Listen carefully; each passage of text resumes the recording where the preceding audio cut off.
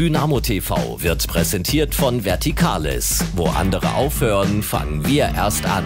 Wir sind der Spezialist für seilunterstützte Höhenarbeit, Industrieklettern und Höhenrettung. Für jeden Dachrinnenreinigungsdauerauftrag erhältst du 10% Rabatt. Zeige uns einfach deine Eintrittskarte, Dauerkarte oder deinen Dynamo-Mitgliedsausweis.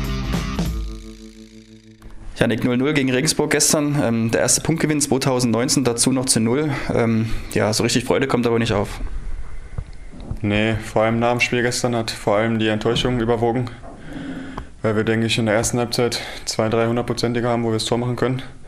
Aber momentan zieht es irgendwie so durch die, durch die Rückserie, durch den Januar, durch den Februar, dass es uns irgendwie nicht gelingt, das Tor zu machen. Ja, und dementsprechend kann man sagen, dass es auf der einen Seite gut ist, dass wir jetzt den ersten Punkt geholt haben, dass wir auch zu Null gespielt haben. Aber auf der anderen Seite war, das, war es gestern leider zu wenig. Ja, es sind so gemischte Gefühle. Natürlich ist es auf der anderen Seite, auf der einen Seite ähm, ja, gut, dass wir jetzt den Negativtrend gestoppt haben. Auf der anderen Seite wären, glaube ich, ähm, ja, auch drei Punkte drin gewesen. Wir hatten die Chancen. Ja, aber aktuell äh, reicht es leider nicht für drei Punkte.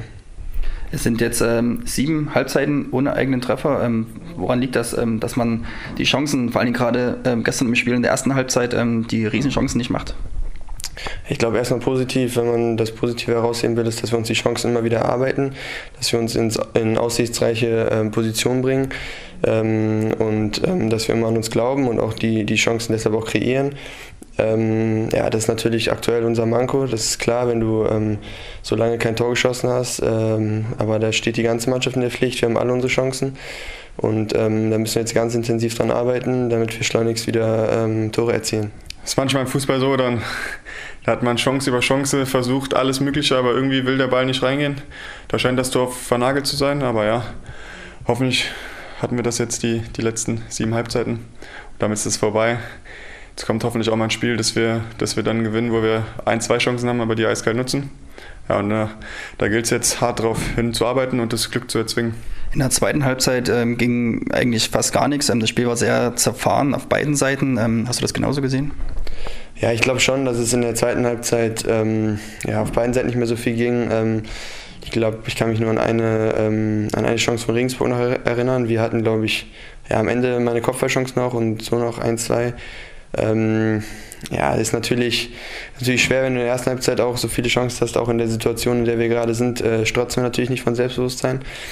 Ähm, aber ich glaube, man hat gemerkt, dass wir trotzdem ähm, an uns glauben, dass wir ähm, ja, versuchen, alles reinzuhauen und ähm, ja, am Ende ähm, steht da jetzt ein, ein Punkt. Ja, in der zweiten Halbzeit haben wir uns schwer damit getan, das Gegenpressing von Regensburg zu überspielen.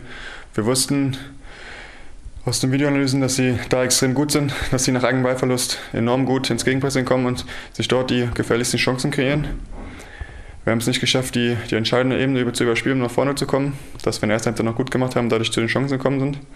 Ja, und dadurch sind wir dann meistens selber wieder in die Bedrohung gekommen, beziehungsweise ja, wir haben dann ein gutes Gegenpressing gespielt und damit hat sich so ein bisschen im Mittelfeld das Spiel ja, verlagert und es kam auf beiden Seiten jetzt nicht zu den, zu den großen Chancen wie in der ersten Halbzeit. Danke dir.